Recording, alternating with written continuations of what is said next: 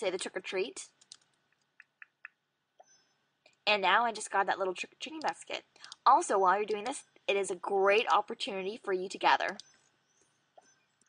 The next place is Evergreen Overlook. Alright, so we're going to fly right over to our next pumpkin and go ahead, right click and paste the trick or treat and enter it just like that. And now I just got that little pumpkin hat. Alright, so our next location is Chilly Falls.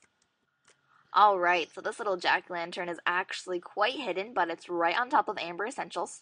So, go ahead and say trick or treat, and you've got your little stew thing. I'm not really sure what that is. Alright, so our next location is Treetop Bend.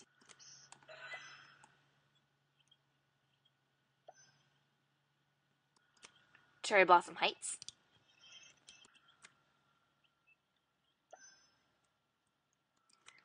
Springtime Orchard.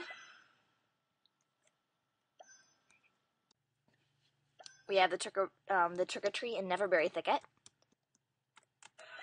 In Dewdrop and Dewdrop Vale. Palm Tree Cove.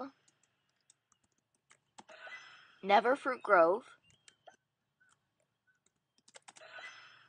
Pumpkin Patch.